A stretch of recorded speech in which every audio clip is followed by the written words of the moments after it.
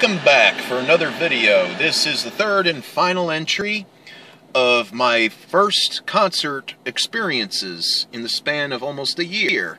How's it going, old schoolers? You are kicking it old school, and I'm your host, Russell JS, formerly Dr. Old School.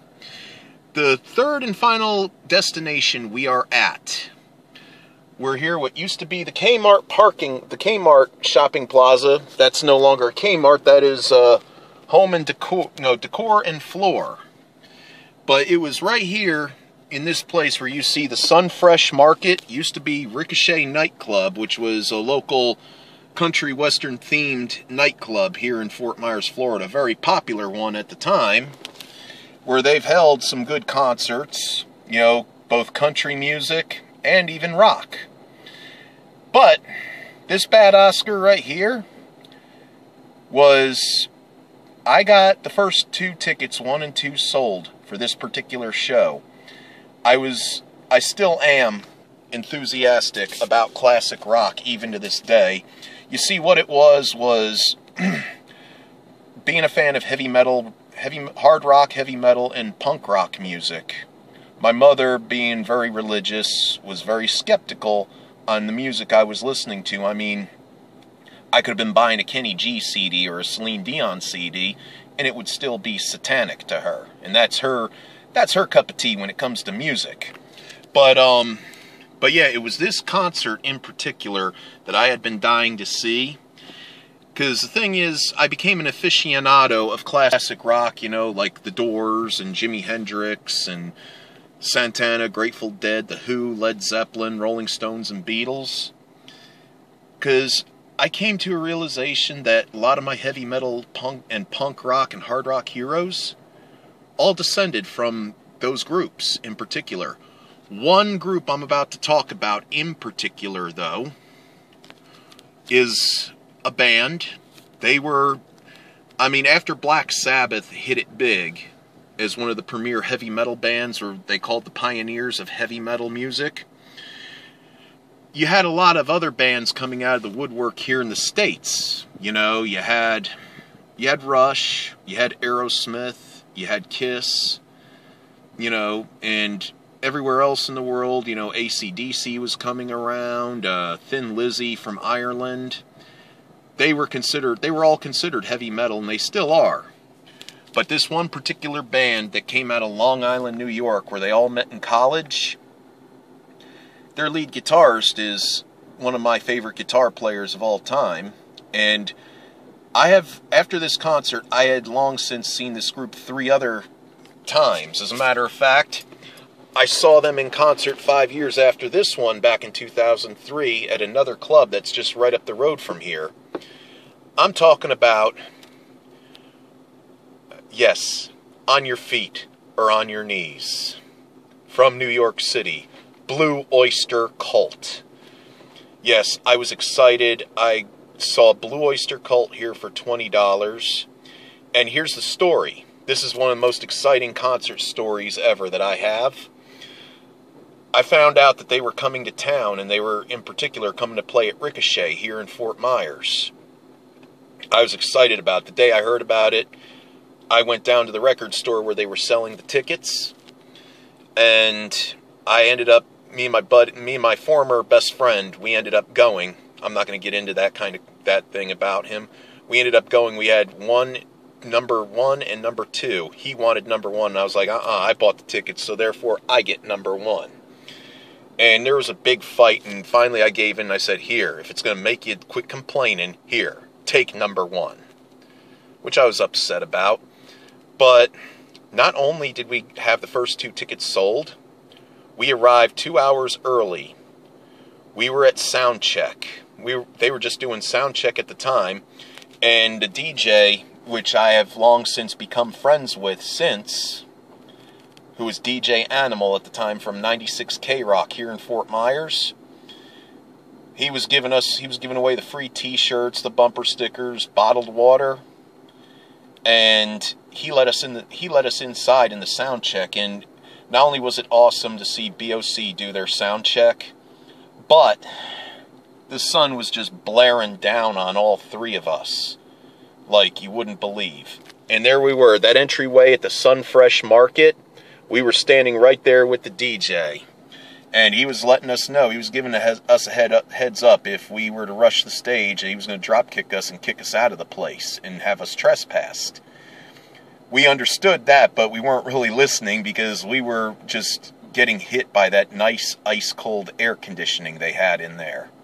It was just quite a relief, quite a rush and there was BOC doing their sound check. It was just a fun time, and then we went back outside.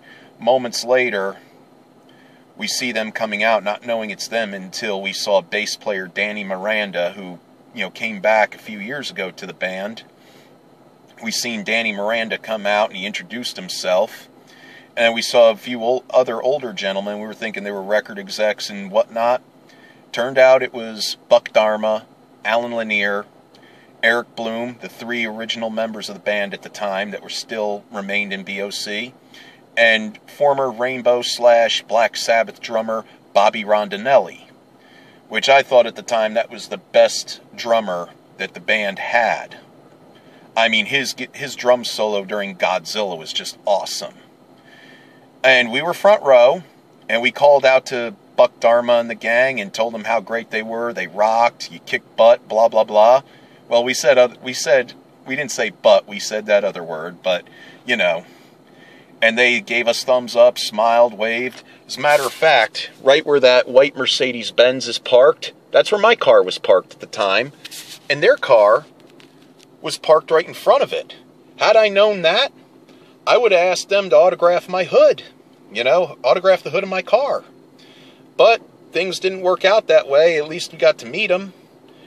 I have long since seen Blue Oyster Cult three other times. As a matter of fact, the last time, the last time I went to see them, me and my friend Rick each bought cowbells. And you, if you remember, if anybody remembers from 2000, that Saturday Night Live sketch with Will Ferrell and Christopher Walken, the more cowbell bit, in honor of that bit, we decided to bring cowbells, and we played cowbells during Don't Fear the Reaper. And we got in the middle of the guitar solo, a lady that worked for the band yelled at us, claiming, oh, it was in the paper, no cowbells. But who reads the newspaper this day and age? Who reads it? Nobody, except for some, you know, some 80 year old or 90 year old couple who don't work with computers. But you know, it was one of those things. We had a good time. I still have my cowbell. I still have it, and, you know, it's forever in my memory. I hope Blue Oyster Cult comes back to Southwest Florida again. I would like to see them a fifth time. I mean, they are getting up there in age, but they are like a fine wine that's aged to perfection. And if you ever get a chance for Blue Oyster Cult to come in your town, I suggest you go see them. I mean, to me, there are a lot, I mean, in my opinion, there's a lot of bands I love. You know, I love a lot of older bands and newer bands, but in my opinion, in my in my personal opinion, I'd say they're a lot better than a lot of bands that get more recognition than they do. You know, they hardly get any kind of recognition, and their musician, the quality of their musicianship is just superb. They never disappoint. And, you know, if you ever get a chance if they come into your town, I suggest you go see them. It is worth the price of admission. They do not disappoint. I mean, Cities on Flame with rock and roll, astronomy. I mean, if anything, any any bands, if you like any of the old school thrash bands or heavy metal bands from that came out around the 1980s and the early 90s, you know, like you know Motley Crue, Metallica, Anthrax, he'll tell you point blank that Blue Oyster Cult is one of their main influences. As a matter of fact, if you have a copy of Metallica's uh, double disc album, cover album, Garage Inc., the song is, listen to that song Astronomy that they do.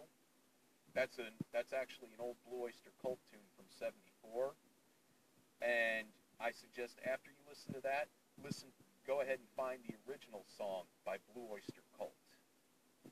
Anyway, if you are new to the channel, I've been forgetting to say this, and I forgot, you know, I actually forgot. I was so excited to do this. If, uh, if you know anybody under the age 13 must watch this video with a parent, and if your parents allow you to view this content, then your parents are totally awesome. And if you're new to the channel, hit a like, hit the like button, subscribe, and leave a comment. Anyway, this is your old pal, Russell JS, formerly Dr. Old School, wanting to wish you, I hope you enjoyed this trilogy of videos I just put together for you today. And yeah, I just took my hat off. It was getting kind of hot. I want to wish you, as always, Godspeed, and may the Force be with you. Always.